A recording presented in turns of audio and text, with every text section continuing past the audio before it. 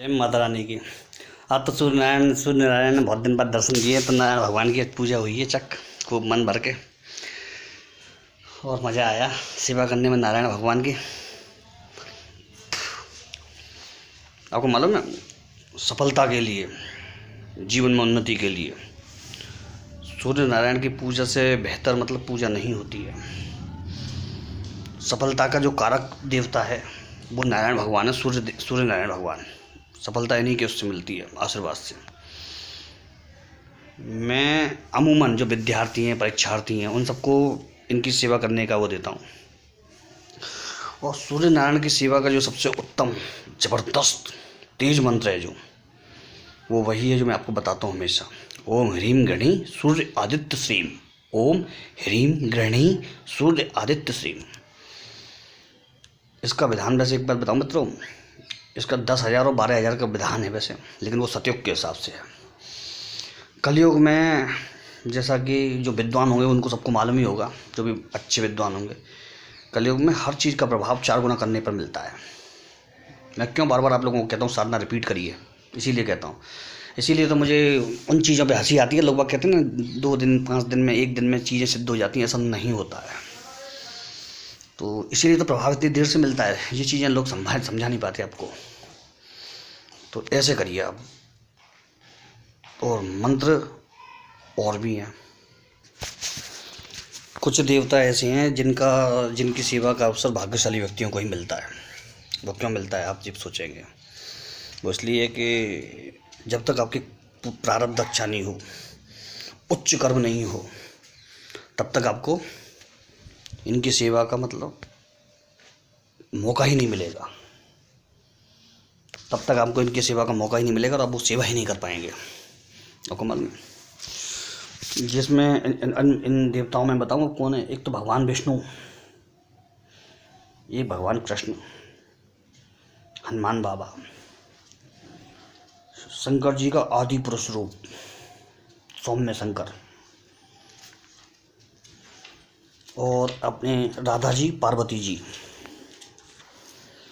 हरिद्रा गणेश। दत्तात्रेय भगवान। ऐसे कई देवता हैं।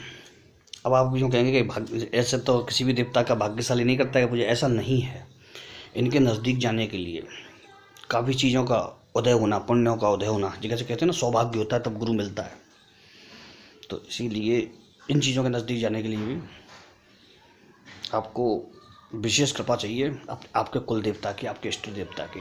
अगर ऐसा नहीं होता तो हर कोई इनके सिद्ध होते। आपने देख देखा होगा कि सौम्य देवता की उपासना और कृपा या फिर उच्चतम श्रेणी की महाविद्या की कृपा वो मिलने के बाद आदमी में कई चीज़ें आती हैं। एक उसका जो अपने खुद का लोभ होता है वो कंट्रोल होता है। दूसरा संसार के प्रति माया। अगर वो माया में भी रहेगा तो वो संसार में लिप्त नहीं होगा। और एक चीज़ और, भाव। हर चीज़ के लिए उसके मन में मतलब समभाव रहेगा।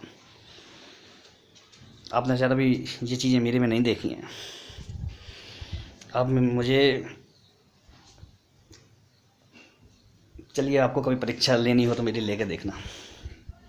यूँ कहना तो बेकार है। ले चुके हैं, काफ़ी लोग मेरी परीक्षा इस विषय में, कि मैं जब इतनी इतनी बड़ी बातें कहता हूँ तो क्या होता है। किसी भी अच्छी चीज़ को, जो बहुमूल्य हो, उसको देख करके आँखों में चमक आ जाए तो समझ लीजिए व्यक्ति लालची है। पक्की बात है ये। सूर्य नारायण की पूजा का जो विधान है, मैंने बताया जो आपको। किसी भी रविवार या किसी भी पंचमी से शुक्ल पक्ष की। आप इक्यावन माला रोज, जो मंत्र में बताया, ओम ह्रीम घृणी सूर्य आदित्य सिंह इक्यावन माला रोज लगातार करते चले जाइए। और इसका प्रभाव ना दिखे ना, तब मुझे बताइएगा आप। आपको, आपके आसपास अलग ही और दिखेगा, अलग ही ऊर्जा दिखेगी, अलग ही तेज दिखेगा। सूर्य नारायण की पूजा करने के वाले के आँखों में चमक ही अलग होती है। अलग ही ऊर्जा होती है। प्रभाव होता है, तेज होता है। सरकारी क्षेत्र में उसको हर कार्य में सफलता मिलती है। ये भी है। तो आप इसको करके अवश्य देखें सूर्य नारायण की पूजा को।